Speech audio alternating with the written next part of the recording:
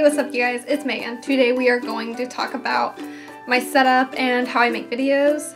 I get a lot of Instagram messages and comments asking about like what I'm doing, how I'm doing it. And honestly, it happens so often that I'm kind of, I'm sorry, tired about telling everybody. It took me months to figure this out by myself. So I'm just going to put it in a video and then hopefully it'll answer everybody's questions. So if I linked you to this video, it's because you've asked about how I record. okay, so first thing I have, what you're gonna need if you wanna record gameplay. You don't specifically need this. If you can find cheaper ones, that's fine. But what I use, my Elgato HD60 capture card, I think it works really well. I have a Xbox One, a PS4, and a Wii U, all next-gen consoles. If you have an older console, you're going to need the other Elgato because if you record with this one, it is going to lag. And for my face cams, I don't use the webcam for my computer with my Elgato because it will not record over it. You can record your gameplay and stream with it, but once you play it back, you won't have any face footage. So what I do, and I'm recording with this now, is I record with my Canon Vixia HFR 50 uh, I got this at Best Buy for I think $300 or 200, I don't remember. Um, there is a cheaper version of this camera which I recommend getting. The only difference is, is the one that I have has Wi-Fi which I don't use and it also has internal storage built in which you don't need. You can just buy a card. So um, this is what I use.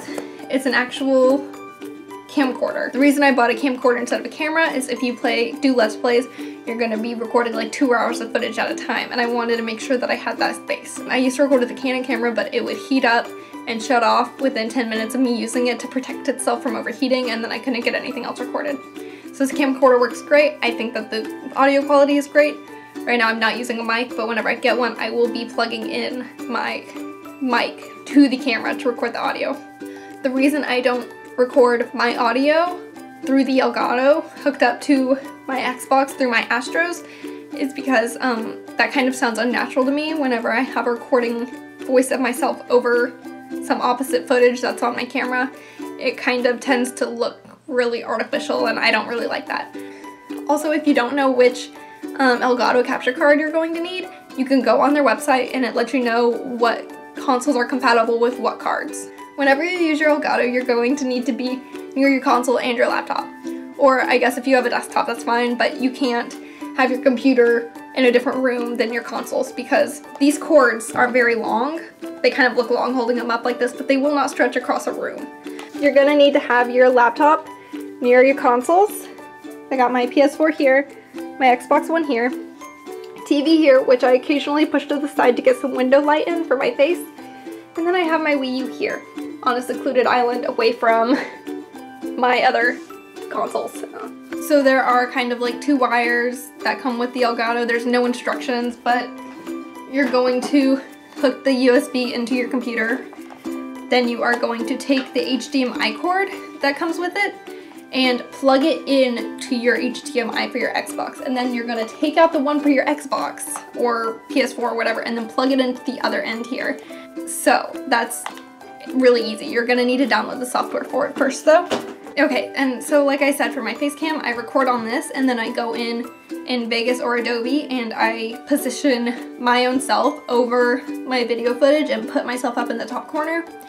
Getting the timing right on this is tricky. It's kind of like a sprint. You have to like hold both and press record at the same time to get them as close as possible and sometimes that doesn't even happen so you're gonna want to adjust, watch middle parts of your videos to make sure everything lines up for my thumbnails, what I do is I usually just like, okay, it's gonna look really lame at the end of my videos, I just do this. Or something, and then I screenshot that and I put it into Adobe and I put text over it. What you can do is that, or you can put it into Microsoft Paint, because you can literally download free fonts from fontsquirrel.com or dafont, D-A-F-O-N-T.com.